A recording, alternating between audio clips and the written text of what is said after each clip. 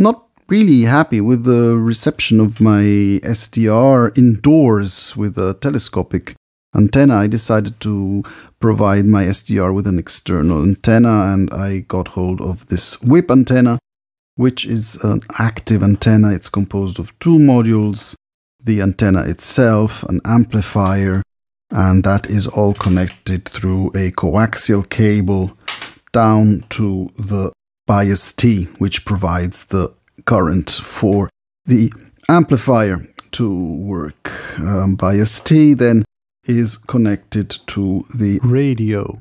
Powered, of course, it needs a power source, so this is the 9 volt battery or whatever you wish to provide it energy with within the specifications. Uh, being a bias T, of course, it has a capacitor which blocks the DC current from reaching the SDR radio but allows the alternate current, the sine wave of the uh, received radio wave to reach the radio amplified by the amplifier. I noticed that without a ground connection, it's not working at best. I get good results by grounding uh, the antenna. So all of this is going upstairs outside. It's going to be fitted in its casing that I cut from a piece of tubing, a pipe that is resistant to UV, UV resistant pipe for outdoors, two caps, and that should provide protection and be watertight. So this model goes outside as high as possible.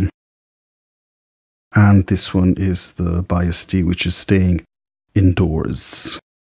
Next, the test itself with the SDR radio connected to the whip antenna.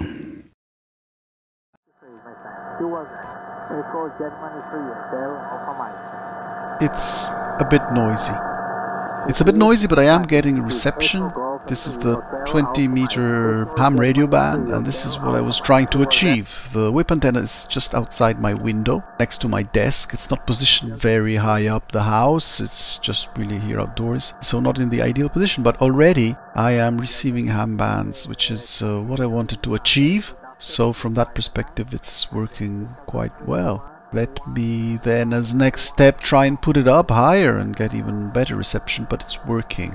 So this is a, a ham that uh, you can hear in the background, 20 meter band, and uh, obviously is running a contest. I cannot hear many of the other stations with which he's running his QSOs, but already this is a, a ham in Spain and this is a reception with an SDR play and a whip antenna just outside the window.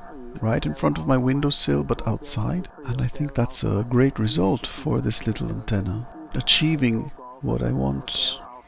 Maybe test uh, different voltage settings. I think it may go up to 12 volts right now. It's running on a 9 volt battery. Take with a grain of salt check the specs. I think it can take a little bit more voltage. Maybe that can help.